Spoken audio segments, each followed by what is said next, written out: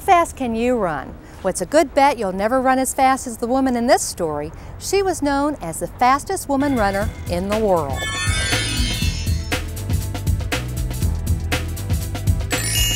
Yes, during the 1960 Olympics in Rome, Tennessean Wilma Rudolph earned the title the fastest woman in the world. But this great athlete and speedster was lucky to be alive, let alone running for gold medals. As a little girl in Clarksville, Wilma was very sick with double pneumonia and scarlet fever, followed by polio.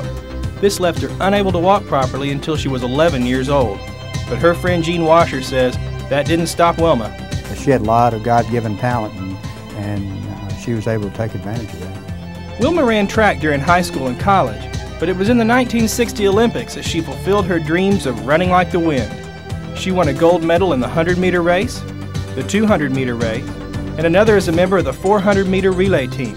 The little girl some thought would never walk had raced her way to the top, but she didn't let success go to her head. She was just a down-to-earth person that, uh, you know, like your next door neighbor or something that you'd sit down and talk to about what's going on. Uh, you wouldn't have thought in, and sitting down and talking with her, she was a famous athlete.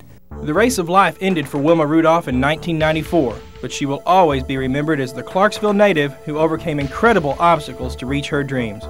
This statue in the Clarksville Montgomery County Museum is a lasting tribute to a great woman and athlete.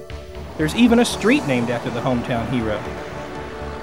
She was very proud of her career and proud of what she accomplished and, and proud of what she had done in the African American community she's already down in history as, as a great, great athlete, and I think uh, you know, there's not many around that's accomplished what she's accomplished, and uh, this community is very proud of her. Wilma Rudolph, the fastest woman in the world, and truly a Tennessee treasure.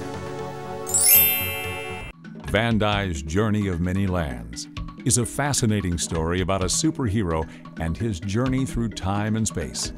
This superhero's courage, honor, and character lead him to confront evil and fight the ones who want to capture his secret. Buy this story for a family member, as a gift for a friend, or just for your own reading. You'll want to make sure to take this opportunity to purchase the first edition of this superhero story of Van Dyne, signed by the author with a superhero message. Order now by calling 1 800 883 8925 or visit our website at superherotv.biz or vandye.com. The book is $14.95 plus shipping and handling.